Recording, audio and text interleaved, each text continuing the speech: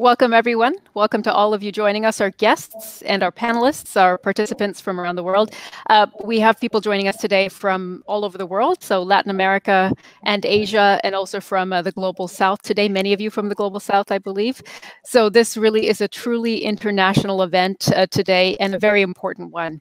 Uh, so as you know, we are taking a look at a timely topic and a crucial one. We're going to talk about the pandemic and uh, freedom of press and expression. And we're really happy to have have you take part in our discussion today.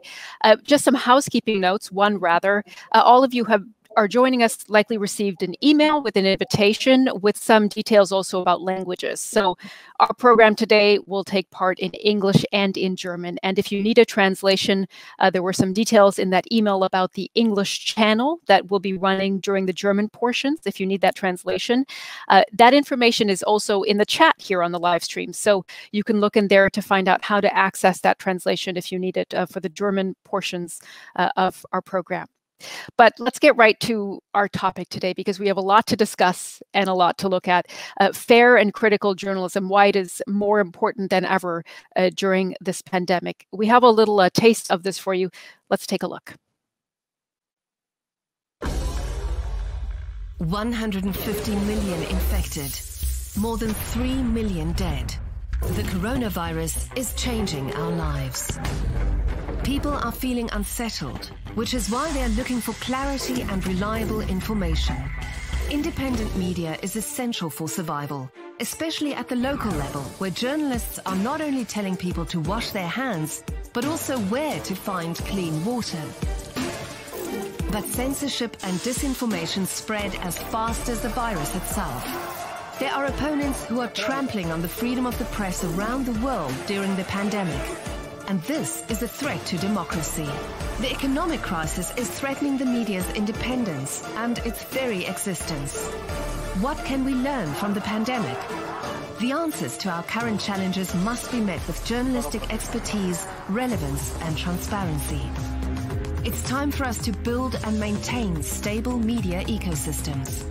Good journalism, relevance and transparency matter. Strong media can help overcome crises, now and in the future. Information saves lives.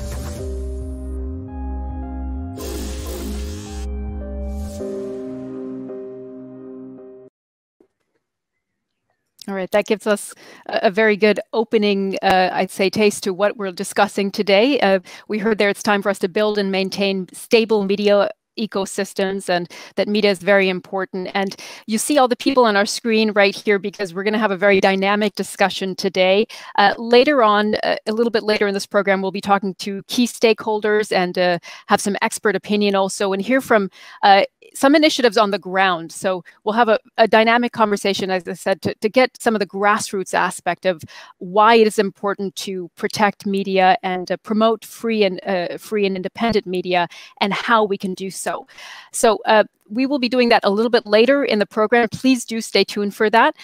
But first, we want to start with a very important initiative to battle mis and disinformation in the pandemic. And this is an in, uh, initiative that's been launched by the Federal Ministry for Economic Cooperation and Development. And DW is also getting to put this initiative into practice. So we're going to hear about both of those right now. And to start us off, we have uh, the Parliamentary State Secretary from the ministry with us, Mr. Norbert Barthle. And then after that, we will hear from the Director General of uh, DW, Peter Limbourg, who you also see on your screen here uh, to talk about DW's part uh, that in, in this initiative.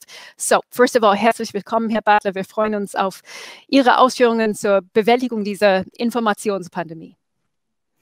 Ja, vielen Dank, äh, Sumi Somaskanta, äh, sehr geehrter Herr Limburg, sehr geehrte Frau Dr. Bryant, Exzellenzen, sehr geehrte Damen und Herren, auch von mir ein herzliches Willkommen unser heutiges Thema ist äh, mir auch als Mitglied im Rundfunkrat der Deutschen Welle ein ganz persönliches Anliegen. Die Bedeutung von Medien in der Pandemie. Starke Mediensysteme von heute sind sozusagen der Impfstoff von morgen. Und zwar gegen Fake News, gegen Desinformation und auch gegen die Ausbreitung von Corona, denn Informationen retten Leben.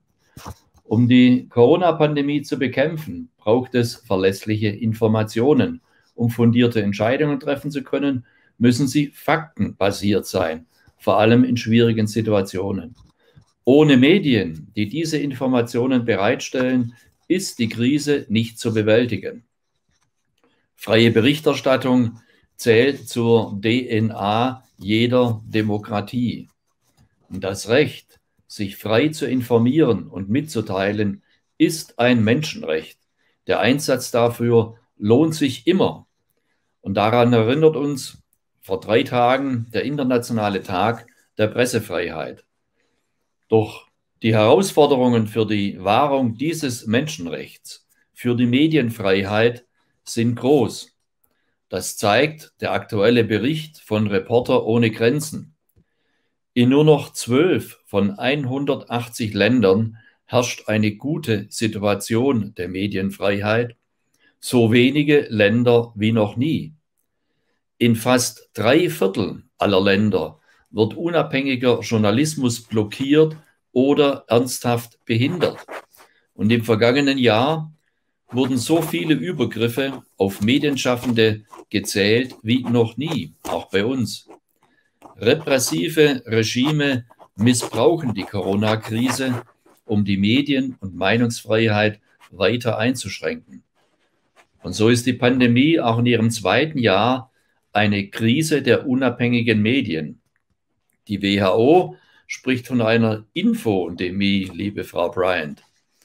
Ich habe Fake News schon erwähnt. Mediennutzerinnen und Nutzer sehen sich zunehmend mit Falschinformationen und Gerüchten konfrontiert, zum Beispiel, wie sie sich während der Pandemie verhalten sollen. Das kann verheerende Folgen haben. Menschen brauchen das Wissen, wie sie Falschmeldungen von verlässlichen Informationen unterscheiden. Also Medienkompetenz. In vielen Ländern sind insbesondere die ländlichen Regionen von der Krisenkommunikation abgeschnitten. Die Folge? Ganze Bevölkerungsgruppen können sich nicht über Wege aus der Krise informieren und auch ihre eigenen Anliegen nicht wirksam zum Ausdruck bringen. Deshalb sind unabhängige Medien in ihrer wirtschaftlichen Existenz bedroht. Die Anzeigenmärkte brechen ein, Journalistinnen und Journalisten werden entlassen, Fachwissen und finanzielle Ressourcen fehlen, gerade im Gesundheitsbereich. Was können wir also tun? Die gute Nachricht ist viel und das sogar wirksam. So startet zum Beispiel die deutsche Entwicklungszusammenarbeit in diesem Jahr die globale Initiative Transparenz und Medienfreiheit, Krisenresilienz in der globalen Pandemie. Ziel ist, gemeinsam mit unseren Partnern, mit der Deutschen Welle Akademie, Herr Limburg, und Mediennichtregierungsorganisationen wie Reporter ohne Grenzen, die Widerstandsfähigkeit von lokalen Medien und ihre Rolle als Aufklärer zu stärken, damit sie auch in der Krise verlässliche Informationen und den Zugang dazu gewährleisten können. Die länderübergreifende Initiative ist Teil des Corona-Sofortprogramms meines Ministeriums. Sie setzt drei Schwerpunkte mit gezielt an die Bedarfe vor Ort angepassten Vorhaben. Erstens unterstützen wir unabhängige Lokal- und Bürgermedien, wie zum Beispiel Radiosender. So können sie innovative Aufklärungsformate und Geschäftsstrategien entwickeln. Und dazu gehören die gezielte Nutzung von sozialen Medien, die Einrichtung digitaler Redaktionsplattformen in Afrika und Lateinamerika, der Aufbau einer Allianz zum Faktencheck in Asien, aber auch Beratung und Qualifizierung zur Berichterstattung im Gesundheitsbereich. Partnermedien in Mexiko, Bolivien, Ecuador, Guatemala stellen zum Beispiel Informationen über Covid-19 auch in indigenen Sprachen zur Verfügung. Und zweitens verbessern wir die Rahmenbedingungen für eine effektive Corona-Aufklärung und Krisenkommunikation. Dazu unterstützen wir den Aufbau von Informations- und Kommunikationsforen. Staatliche, zivilgesellschaftliche und mediale Akteure können dadurch erstmals gemeinsames Krisenmanagement betreiben wodurch sich auch die Krisenkommunikation von örtlichen Behörden oder Flüchtlingslagern, wie zum Beispiel im Flüchtlingscamp Cox's Bazar in Bangladesch, verbessert. Dort unterstützt die Deutsche Welle Akademie lokale Radiosender dabei, im Camp und den umliegenden Gemeinden über Corona aufzuklären. Und drittens stärken wir junge Menschen im kompetenten Umgang mit Medien, denn sie sind über soziale Medien besonders häufig Falschmeldungen und Fehlinformationen ausgesetzt. Unsere Partnerorganisationen in Nahost und Lateinamerika entwickeln Curricula für die Vermittlung von Medienkompetenz. Inhalte werden dann auch über Messenger-Dienste wie WhatsApp verbreitet. Meine Damen und Herren, ich wiederhole es. Ohne Medien keine Krisenbewältigung. Deshalb unterstützen wir die Medien in unseren Partnerländern mit dieser Initiative dabei, krisenfester zu werden. Kurzfristig in der Pandemie, langfristig, aber auch mit Blick auf weitere Herausforderungen, wie zum Beispiel den Klimawandel, Flucht und Migration oder gewaltsame Konflikte. Dafür stellt das BMZ in diesem Jahr insgesamt 40 Millionen Euro zur Verfügung, davon 10 Millionen Euro für die neue Medieninitiative. Globale Krisen bewältigen wir nur global und gemeinsam. Der Einsatz für freie Medien, journalistische Qualität und Medienkompetenz ist selten einfach oft riskant, aber immer nötig. Dafür wünsche ich uns allen Ausdauer, Kraft und natürlich Gesundheit. Vielen herzlichen Dank.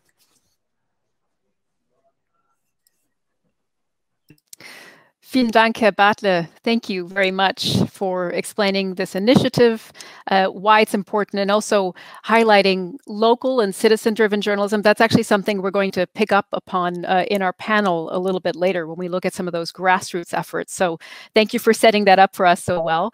And as I mentioned, DW gets to put this initiative into practice. So we're going to turn to DW's Director General, Peter Limbourg, now for more on the role that DW is playing to really fight this uh, infodemic. So uh, herzlich willkommen, Herr Limbourg. Ja, vielen Dank, Sumi, für die nette Einleitung und ähm, äh, vielen Dank, äh, Herr Bartle, für äh, Ihre Worte. Und ich glaube, äh, diese Initiative ist wirklich sehr hilfreich. Und äh, das Gute an Initiativen und an Projekten, wo man Medien mit eben fördert, ist, dass man so viele Menschen mit erreichen kann und eine wirklich große und durchschlagende Wirkung erzielen kann. Diese Initiative äh, ist für die Deutsche Welle Akademie sehr wichtig. Mit Partnern in 16 Ländern wird sie umgesetzt in, für Projekte in Afrika, in Asien, Osteuropa, Lateinamerika und der MENA-Region. Insgesamt sind wir im Rahmen dieser Initiative in 33 Ländern aktiv. Die Projekte der Deutschen Welle Akademie sollen dazu beitragen, das Überleben der Medien in der Corona-Krise nachhaltig zu stärken. Staatssekretär hat es gerade angesprochen. Es ist tatsächlich eine sehr, sehr schwierige Lage für so viele Medienhäuser um, in der gesamten Welt. Ein Schwerpunkt unserer Projekte ist die Stärkung des Wissenschaftsjournalismus. Wir unterstützen zum Beispiel in Kolumbien, Ecuador und Peru den Aufbau von digitalen Fortbildungsangeboten und fördern aktiv die Vernetzung zwischen Wissenschaftlern, professionellen Journalisten, aber auch Bürgerjournalisten. So halten mehr Menschen verständliche und fundierte Informationen, um sich selbst und ihre Familie besser vor der Pandemie zu schützen. Dabei sind uns marginalisierte Bevölkerungsgruppen ein großes Anliegen, wie zum Beispiel indigene oder eben geflüchtete Menschen. Die Öffentlichkeit muss sich ganz besonders bei einer Nachrichtenlage mit globaler Auswirkung auf Informationen, Einordnung und Erklärung durch die Medien verlassen können. Die Presse muss daher zusätzlich zu einer fundierten Berichterstattung dringend auch gegen Desinformation vorgehen. Gerade in den sozialen Medien finden sich viele falsche Informationen über die Corona-Pandemie, denen manche Menschen leider zu viel Glauben schenken.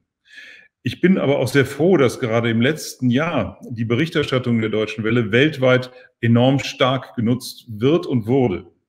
Wir verzeichnen mittlerweile jeden Monat mehr als eine Milliarde Zugriffe auf unsere digitalen Angebote.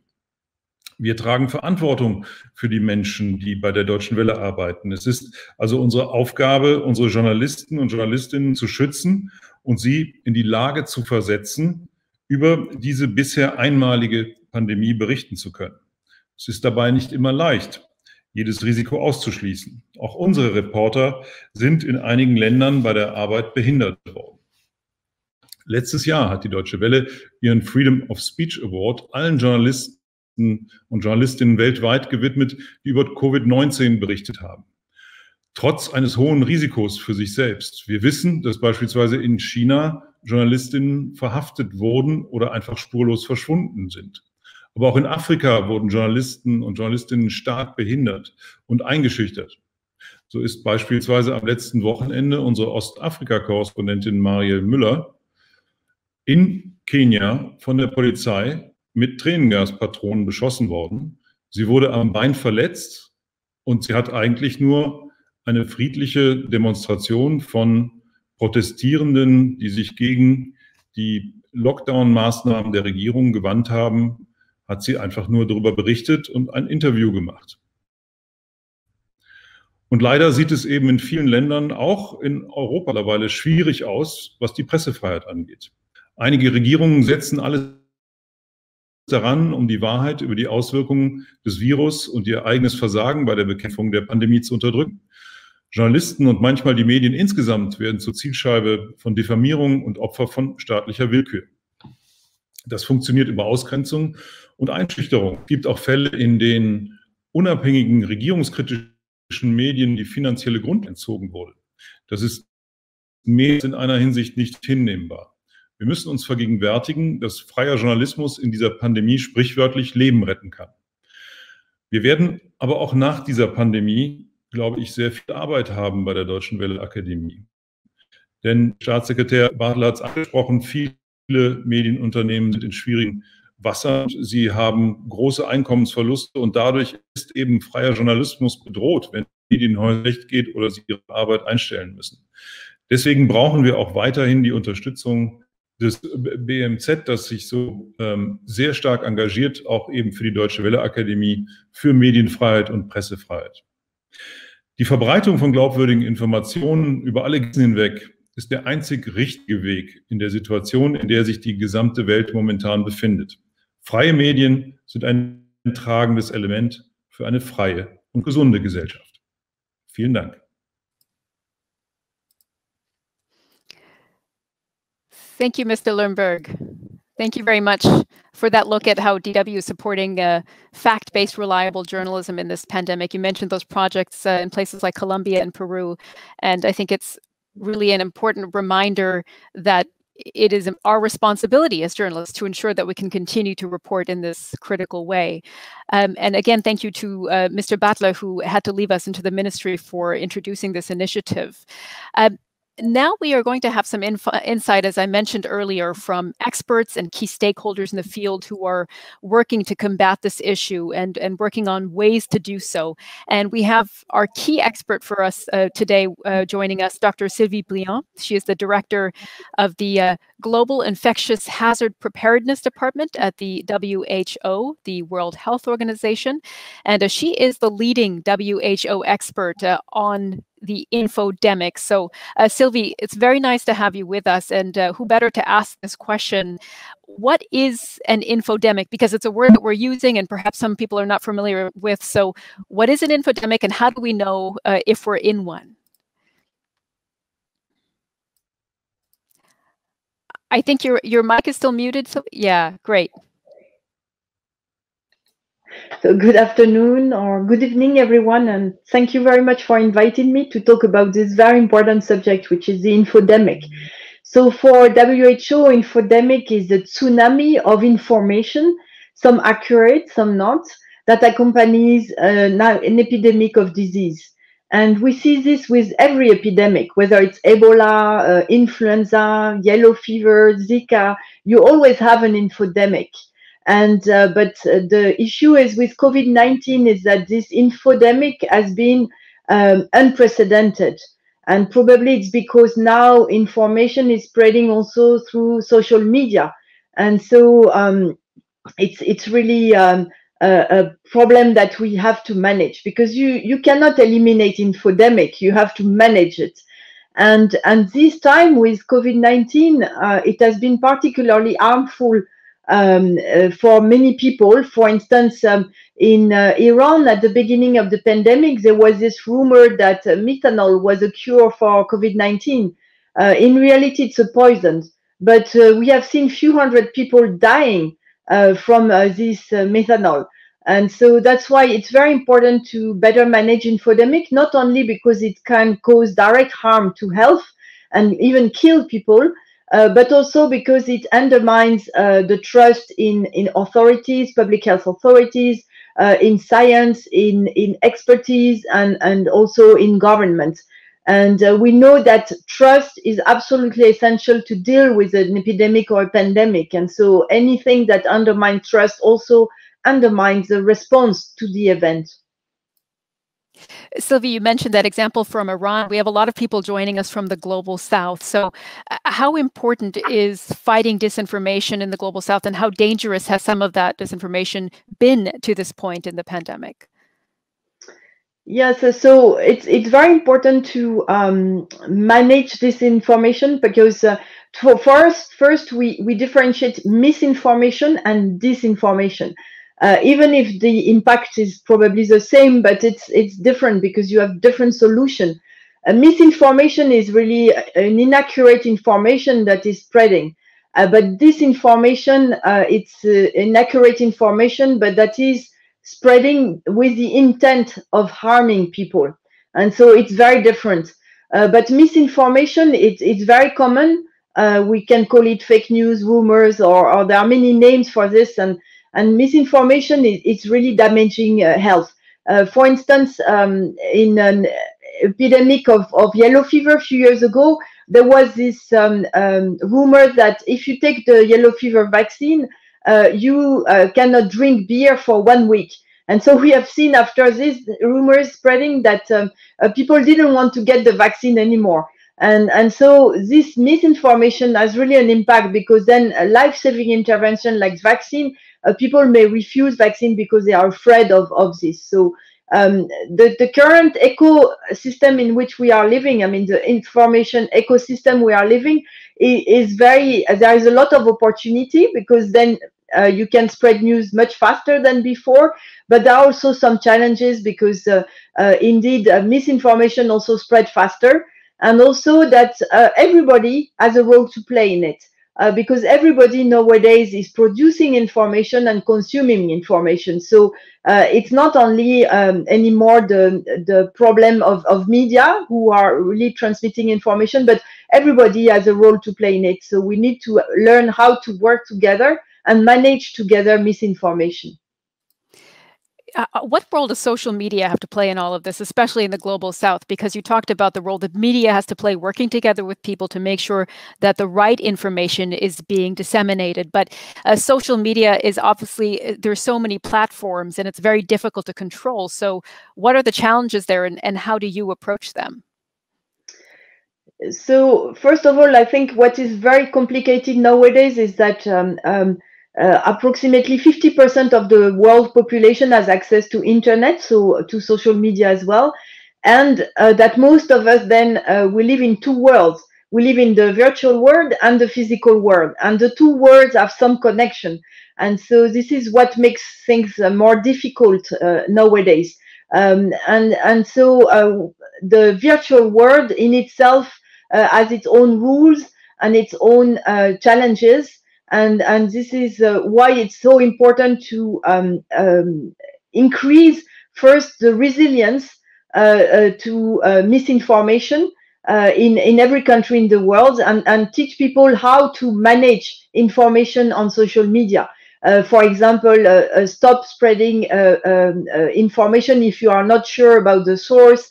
always verify the date of the information um, and, um, and try to stop uh, rumors uh, if you see some by not uh, sharing this information. So there are some um, rules and, and attitudes that are um, very useful to, to stop misinformation on, on social media but also more importantly, I think it's very important to increase healthy literacy of people. uh, because uh, this pandemic showed us that it's very important also to uh, have some concept about health. Uh, and unfortunately, uh, we see a lot of health inequity in the world, but there is also a lot of health literacy inequity in the world as well. So we need to work really to increase health literacy everywhere. Perhaps to follow up on that last question, on the other side of the coin, do you believe that social media perhaps also provides you, for example, at the World Health Organization, an opportunity to be able to, to reach more people with that correct information? Absolutely, and that's why uh, I said we need to work together. Uh, I think it's very important to have um, strong partnerships, especially during crisis, because thanks to uh, media, social media, I mean, all those uh, uh, sources of information, there is also an opportunity to spread accurate information more um, efficiently first, uh, because we can use also videos or visuals that really help to distill the science. And, and this is what matters most uh, in times of pandemic. Uh, but also um, it, it can spread uh, more rapidly and we can also adapt the content to a different context and settings. So I think it's it's um, that's why partnerships are, are really important and social media have been very useful uh, with uh, during this pandemic at least we have had a, a very good relationship during uh, this pandemic with with most of the media platform because they helped us to overcome a certain uh, nasty algorithm and to push uh, to people more trusted uh, information and evidence-based information Sure. We saw early on in the pandemic how many people were sharing images and, and videos on how to wash your hands correctly, for example, and how to keep yourself safe and what social distancing means. But to drill down on what you just said, you know, I know that the WHO at the moment is trying its best to debunk any false information out there and elevate the correct information, as you said, and it's an effort from everyone. Yet it seems like um, both mis and disinformation, and thank you for um, identifying what those both are, that they spread perhaps faster than the, the actual, the real true information. So how do you go about that? Well, it's true, and especially um, it spread faster during crisis because uh, epidemics are characterized by fear and uncertainty, and people are more vulnerable to uh, misinformation during crisis because they are more fearful. And so this is why it's so important to uh, not only look at information, but we need also to look at emotions. And, and this is uh, what we have done is develop tools to listen to people concerned, especially online, and to uh, identify not only the, the, the concern they have, uh, but also the emotion. Are they fearful? Are they anxious? Are they angry? Or what is their uh, state of mind so that we can propose them information that really meets uh, their needs at this point in time. And so, and I think this is where we have to all learn how to better uh, dialogue uh, with uh, with communities and and with uh, civil society to better understand what are the concerns at a given time and help everybody to fight misinformation and disinformation. Sylvie, one more question before we move on to the next part of our program. Um, do you have a message to journalists in particular? We're here today to talk about the importance of free and independent press and disseminating the right kind of information. What could journalists do better to make sure that uh, media literacy is improved, but also that the right information is being passed on?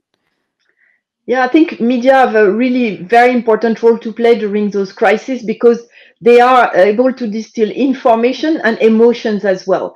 And so I think this is why it's important for media people to understand that they, they have a, a great uh, power, but also a great responsibility uh, and to deal with emotion and uh, information.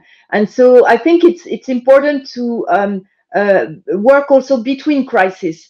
Uh, they need to uh, build the trust before the crisis so that during the crisis they become the most trusted source of information and then uh, it's very important that uh, during the crisis, they can continue to spread good information uh, to the people who are really listening to them. Very interesting, Sylvie. Thank you so much for that really insightful look at why sharing and taking this on together is so important. And you'll be joining us in that panel discussion in just a moment. So we'll get to talk a little bit more with the other guests as well. Um, but first, we're going to take a special look at some projects that in the field that are part of this initiative, the Ministries Initiative uh, in partnership with DW that have just gotten started. And they will continue to be developed and expanded upon uh, over the coming weeks and months um, with the DW Academy. So uh, let's take a brief look. Communication in the rural regions of Latin America is a major challenge. Community radios reach far-flung areas. This is especially important for indigenous people. Luis Salazar is a producer for the community radio station CEPRA in Bolivia. Uno de los desafíos más grandes en esta etapa de cuarentena por el COVID-19 ha sido poder hacer la asistencia técnica tanto a nuestras radios como a las radios comunitarias que han solicitado nuestro apoyo. No estábamos preparados, entonces hemos tenido que utilizar um, el Internet y también hacer control remoto de sus máquinas y poder asistirles. The Transparency and Media Freedom Initiative is developing a new digital newsroom so that information can flow securely even in times of crisis. Information that is also vital for refugees, like Hibo Muhammad, a community reporter for the Sikika program in northern Kenya. With Corona, it has separated family and friends. Uh, it has created economic imbalance. It has also led to some uh, stress and trauma, creating that scaring feeling to almost the refugees here in the camp. The pandemic has shown that vulnerable groups are the first to be excluded from information sharing. Therefore, in the future, authorities, journalists, citizens, and non governmental organizations are working together in a network. In the crisis communication chapter, trained teams communicate quickly in all directions in the event of a crisis. In this way, information is disseminated in a variety of ways in exchange with those affected. In Jabba, a village in Jerusalem, the Palestinian NGO Pyalara is building a center for media literacy supported by German development cooperation. The driving force in this process is Hania Bitar. She wants young people to be able to use media in a competent way. To get empowered, to accomplish themselves, and to fight and advocate for their rights. In the pandemic, social media have become even more important, but they're also part of the problem, the infodemic. In the Interactive Media and Information Literacy Center, young people and their families learn to use media critically and to evaluate information correctly in order to curb the spread of dangerous misinformation. كيف انشر اشي على الفيسبوك على الماسنجر على المجموعه اي خبر اميز الخبر المتحيز والخبر اللا Life-saving information goes viral, so future crises don't stand a chance.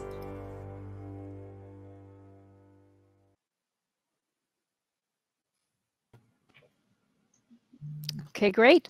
We just saw there how these initiatives are starting to take off. As I said, they're going to be continued to be developed over the coming weeks and months. But let's talk more about how some of these media development projects, uh, how they work, and and what some of the challenges are. And we have these wonderful guests who you see on your screen with us. Uh, and I will start by introducing first of all Hania Bitar because we just saw her uh, in that video. Uh, Hania is the Director General of Pyalara, uh, the Palestinian Youth Association for Leadership and rights activation, and also um, partner of an AI project called MIL Goes Viral. So Media and Information Literacy Goes Viral. So Hania, welcome. Uh, we'll move on now to Dr. Njoki Chege. She's the director of the Innovation Center at Aga Khan University in Kenya, joining us from Nairobi. Very good to have you with us today.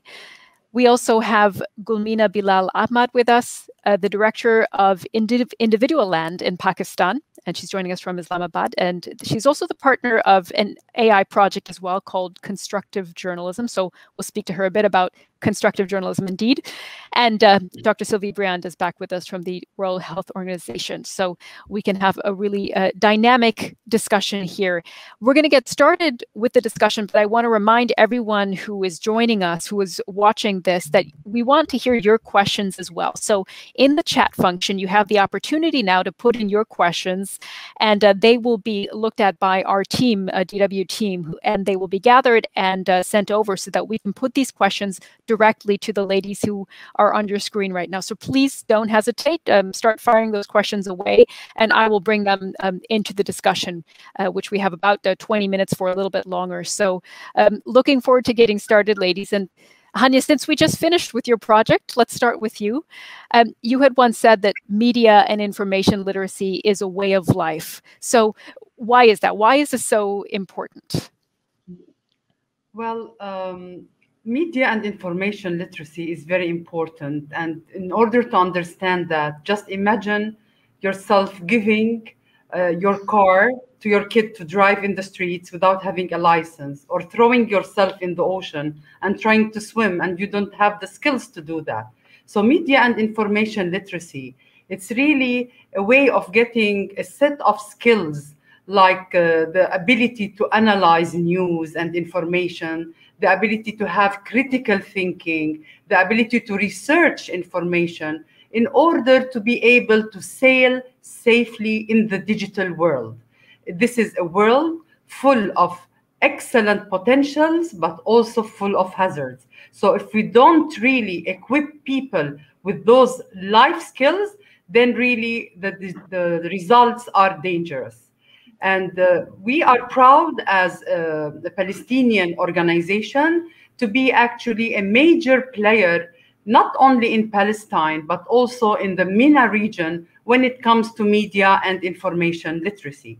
So uh, with the help actually of Deutsche Welle and UNESCO, we have managed actually to, um, to, to create uh, hundreds of young Palestinian pupils through the uh, cooperation with the Palestinian Ministry of Education. We entered more than 50 Palestinian schools, and we have been working for several, several years with young people, mm -hmm.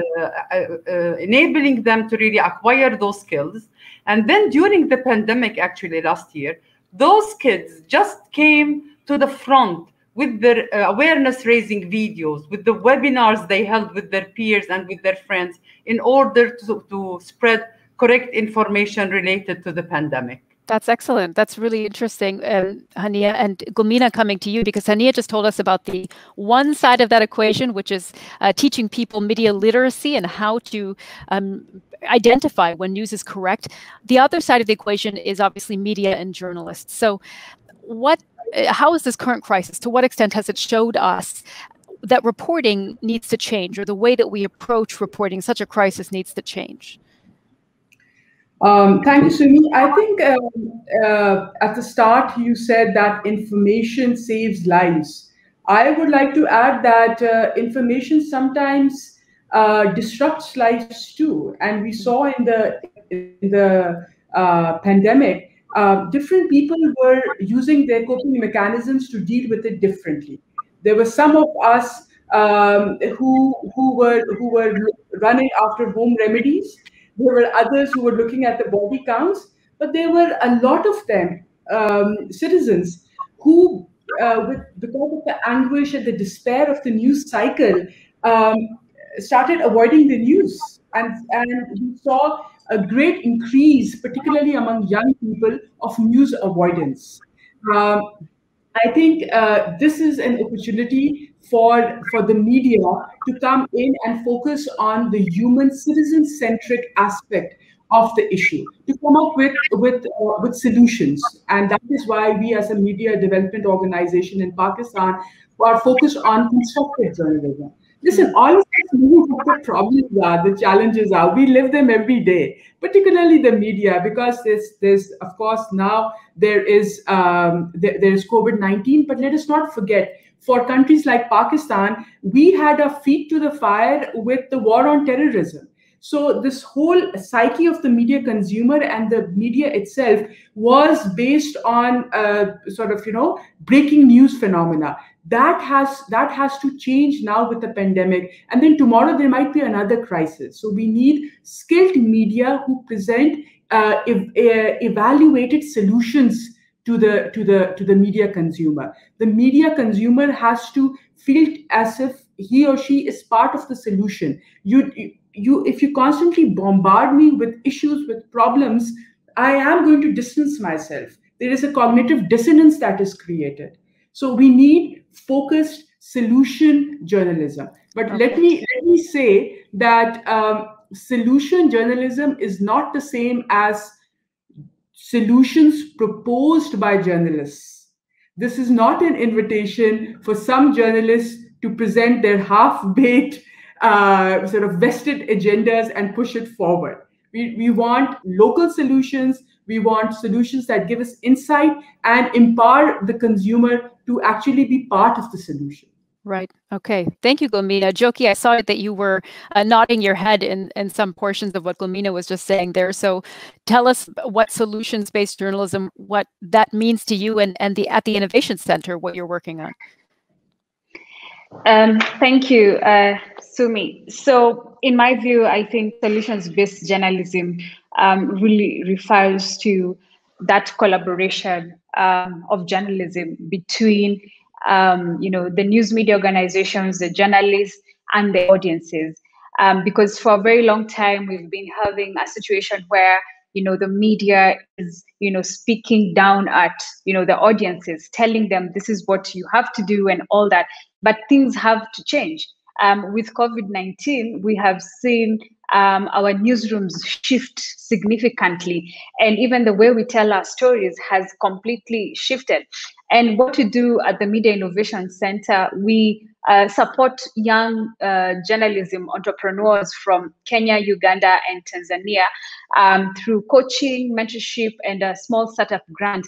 But really, what is important is that we're supporting them to tell the stories that have not been told in so-called mainstream legacy media uh, for a very long time. So we are looking at a lot of stories about young people, stories about minorities, um, stories uh, targeted specifically to the under 35s, um, stories about women. Um, these are the chronically underserved pockets of the audiences that have never seen their stories published um, in the mainstream media. That is the base of solutions journalism, where people who have never seen their stories being told in the mainstream legacy media finally see their stories and actually participate in the storytelling processes. Over and above telling the stories that have previously been untold, we're also exploring uh, multimedia storytelling. We're exploring um, technology, leveraging on uh, augmented reality, for example, leveraging on digital technologies, uh, that is really speaking to the younger audiences in the language that they understand. So we are moving away from the traditional television, print, and all that, and moving into very new digital spaces that uh, even sometimes, uh, you know, this mainstream media have never tried before. Thank you. Hmm. That's very interesting, Njoki. And Sylvie, that it brings me right to you because we just heard Njoki say there that they're working on messages, messaging that um, directly speaks to young people. So the question to you is, how does the World Health Organization try to craft messages that can reach essentially as many people as possible and relate to as many people as possible? We still have you on mute, Sylvie. Thanks, Sumi, for the question. Um, and indeed, I mean, uh, WHO is a global uh, global agency, so it's not easy for us to uh, adapt messages. But fortunately, uh, we have 150 uh, country offices and regional offices as well, and we work very much with partners like UNICEF, UNESCO, IFRC, and and a lot of um, local uh, NGOs as well. Uh, because for us, uh, we we look at uh, the evidence and we make uh, evidence-based recommendation. But of course, those recommendations then needs to be adapted to the context. And we have, um, for example, young people. We have um, launched a design lab uh, where we have discussed with them the key uh, information that uh, needs people needs to know to protect themselves uh, against COVID-19. And the young people have translated it into their way of seeing the world and, and those uh, recommendations. So then it's much more adapted uh, to the language of the young and, and also the visual and things that speak to them. Um, and so that they can really um, use this information for themselves. Okay, that's a key point, adapting a message so that it can be applied in various different ways. I'll just remind everyone who's joining us again that um, please do put your questions in the chat and we will be reviewing them and bringing them into our discussion. Um, Hania, coming back to you now, because we looked again at that video of the beginnings of the initiative that you uh, have launched. What challenges do you anticipate along the way as this uh, is developed?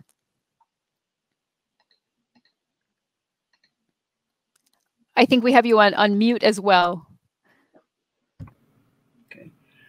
Uh, actually, when it comes to, uh, I think with the pandemic, um, we, we really realized how important it is to really fight misinformation and disinformation. And uh, the, the, the, current actually uh, global crisis response by Deutsche Welle focuses a lot on how to really save life via information. Now, um, in, in the Middle East or MENA region in particular, you know, um, there has been um, projects developed to really help people fight misinformation and disinformation. And uh, the, the thing is that um, we have to really, uh, what is special about the approach is that um, it really uh, comes in time, and I think many of the speakers mentioned this, that it is actually tailored uh, tailored to the needs of the people. So uh, both projects in the MENA region actually um, uh, pay special and careful comprehension to the needs of the users. So it's very important to understand what people want, how they want it, and the second thing is how to involve them in producing solutions. I think with the with the digital revolution, uh, people really became part and parcel of the whole process. We cannot just now have this up-down approach of enforcing solution. You have to bring people into solution making in order for them to ad adopt it and adapt it and really feel ownership. Now, despite all this, and despite all the efforts, there are still lots of challenges, and I speak mainly about actually the MENA region. Maybe it applies to my colleagues in their context in Africa and other contexts as well. But um, actually, when it comes to the Middle East and North Africa, we have to really be aware any intervention by Deutsche Welle, by any other uh, agencies, they have to be aware of two main challenges. The first challenge is the eye. Uh, somehow, actually, there is this kind of uh, glorification of the eye.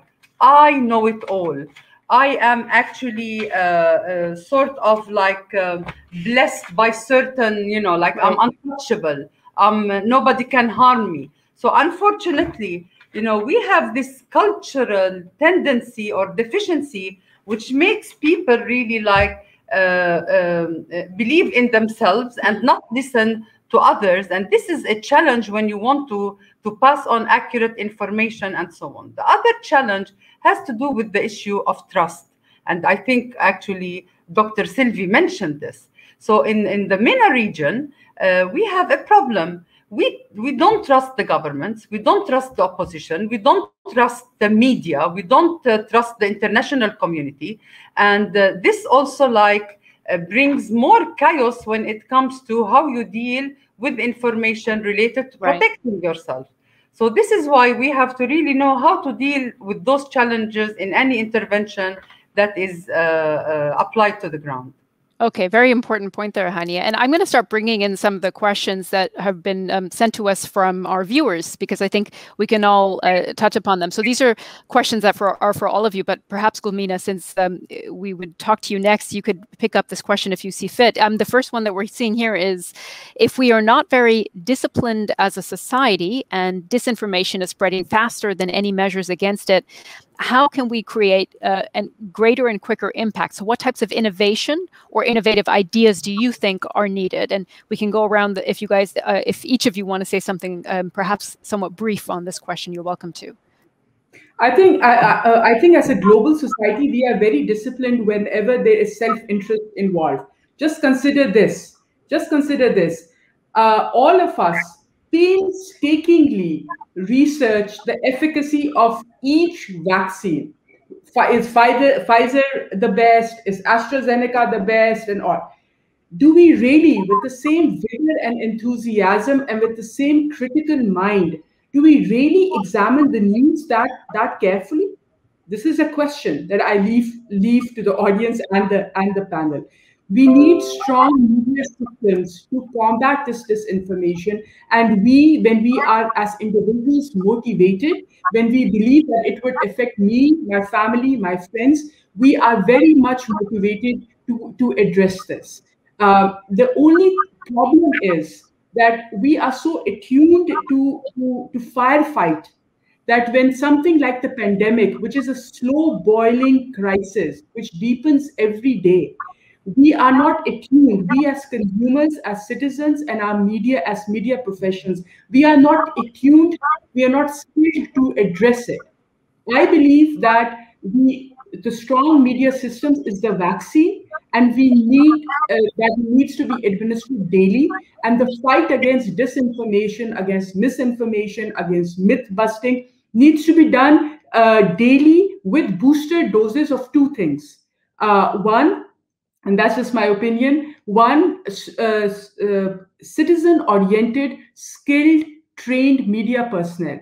In a country where I am speaking to you uh, from, Pakistan, the citizen has to set himself or herself on fire in front of the national uh, parliament in order for, for them to be heard, in order for their problems to be highlighted. Where is the media? Where why is not media representing me? And we heard from from uh, from our good doctor from the Aga Khan University of how there's this almost condescending way of the media talking down to us. It's not representative, and that is where uh, in, uh, where where journalism like solution oriented journalism, constructive journalism comes in. Um, okay. The other booster that we need is, is what Hania is working on, uh, a critically aware media information literate uh, citizenry. Right. Thank you. And and I might just move on to the next question because uh, to make sure we can address all of the questions that are coming into us. So Njoki, perhaps I'll put this one to you um, because it is directed to everyone how can fact-based reporting be encouraged in challenging political uh, situations? And um, this viewer mentions Tanzania as an example, uh, without putting journalists themselves at risk. So perhaps um, you have a perspective on that. Yes, absolutely. And um, you know, just to um, circle back on the question that you're talking about innovation, I think the pandemic has given East Africa's news media another chance to prove their value in society, but also a chance to think on their feet. Um, we are seeing local news media organizations like maybe Nation Africa um, coming up with very creative campaigns about you know putting on your mask washing your hands and also now they have invested heavily in digital and um, they consider mobile their primary publishing uh, platform. We also have some of our partners in Uganda, like uh, the Media Challenges Initiative, that um, have you know translated COVID-19 prevention messages into almost 15 local languages. Now that is what we talk about impact in the society. But going back to your next question about how we can prevent um, disinformation and protect journalists um, when they're doing their jobs, I think a lot of training needs to be done um, through a structured continuous professional development program where journalists are, you know, trained on issues like sensitive reporting, uh, you know, media law, for example, um, just digital safety and all that and even fact checking because a lot of challenges that we are having right now is because there's that um, knowledge gap between journalists and the work that they're supposed to do. And this is where we come in as academics and we call for partnerships between the industry and the academia and institutions, global institutions like WHO, that these journalists need to be given a lot more training than they already have. Newsrooms need to be, um, you know, empowered not just with knowledge but also with resources. And this is where um, I would call on our policymakers and governments. What are they doing to empower local news media organizations and even community radios and community-based organizations such as the ones being run by some of our partners in this call, what are they doing to ensure that they fight fake news and disinformation? Because right. fact checking is expensive. Good journalism doesn't come cheap. Yeah, like you know, you're a journalist, you understand that. Yeah, thank you. Thank you, Njoki. And and Sylvie, the next question is actually directly to you. Um, the question that's being asked is because of the pandemic, governments have limited the freedom of journalists. So, what has the WHO been doing to tell governments about their vital roles during this time, which you know Njoki was just talking about there?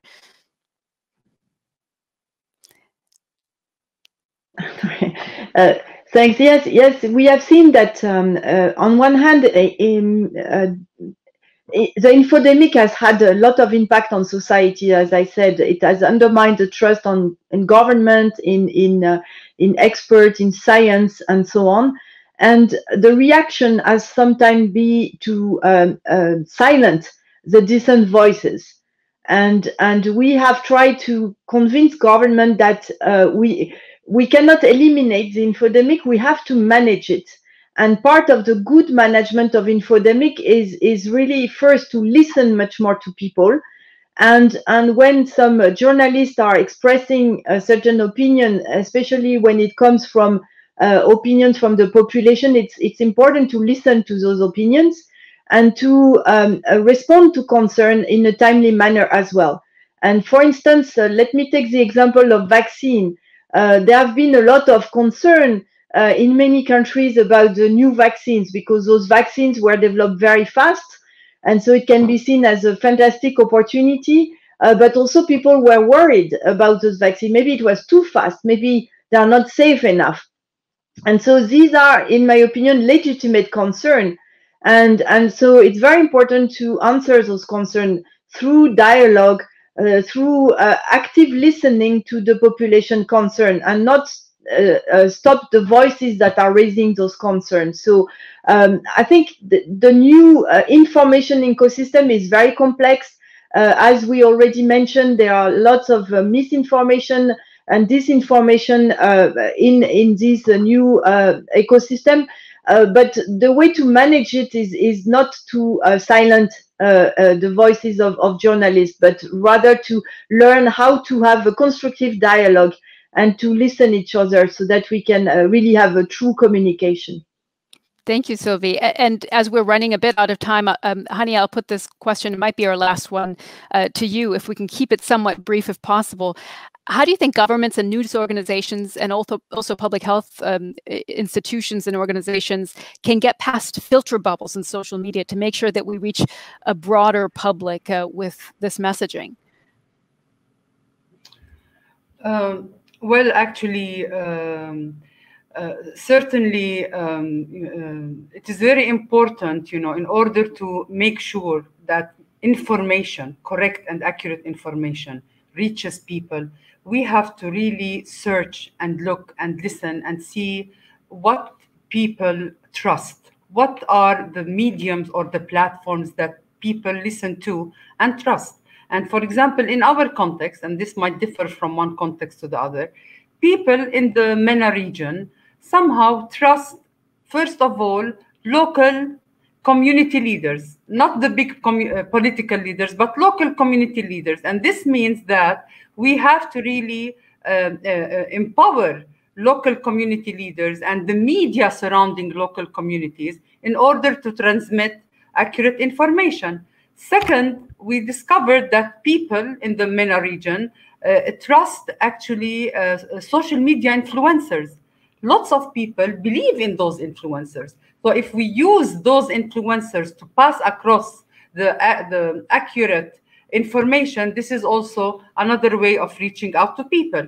A third yeah. a source that uh, people trust somehow are people with white robes So people love doctors, nurses, and religious people who wear white or black sometimes. So information right. through them is also like reaching out to, to people. So we have to look as, at other venues beyond the official uh, bubbles transmitting information because now people have different sources of how they get information, whom that they trust, and whom they listen to, and whom they decide that this is like really trying to mislead them into different directions that's a really important point, and it actually answers one of the other questions that had come up in our uh, chat, which is how to confront the lack of trust among young people as well. I will ask one last question, and it's going to be a lightning round. So I would ask really just one quick sentence from all of you. What is your biggest priority for media to emerge stronger from this crisis? And Hania, we finished with you, so perhaps uh, just one quick sentence from you, and then we'll go around. No, start with the others. I will finish. okay. Uh, well, Gulmina, we'll start with you then. That's unfair. Hania will get more time to think. Uh, um, I think the biggest priority is what what uh, what Dr. Sylvia said. Um, in such times, media needs to present itself as the citizen's ally in order for for the, for the trust to be built on on media. And trust can only okay. I will only trust the media if it's skilled, if it's trained, and if if it is me oriented. Right. I have to keep it to one sentence. I'm sorry, everyone. Njoki, you're next. so my big sentence is investing in public media to ensure that um, high quality and independent journalism is available to everyone at no cost. Well done. Sylvie, it's your, your turn Thank now. you. Thank you. Um, I would say that uh, build trust before the crisis, because during the crisis, it's it's very difficult. So Perhaps it's even too late. Yes, indeed. Okay, and Hania, you have the last word with the last sentence. Well, I I totally agree with the issue of trust and acknowledge whenever you go wrong, just admit it and regain people's trust. This is very important to play a big role as uh, as media admitting mistakes also important. So thank you very very much hania and Njoki and gulmina and sylvie for that really interesting discussion. I think you brought up so many points that we can all take with us whether you're a media practitioner or not. Um, for more information about this initiative you can go to the website for the dw academy. I believe that the, the link for that website will also be in the chat here uh, that you see in the live stream. So if you need access to that. Thank you again to the ministry for hosting us. And um, don't forget the annual Interdisciplinary International Media Forum from DW. The Global Media Forum is going to take place from uh, June 14th uh, and on June 14th and 15th, rather. So make sure you sign up and get your digital pass for that. This will also be a topic there, so we can continue the discussion on that end. So again, that wraps us up. Thank you, everyone, very much, and uh, we hope to talk to you again soon and meet again.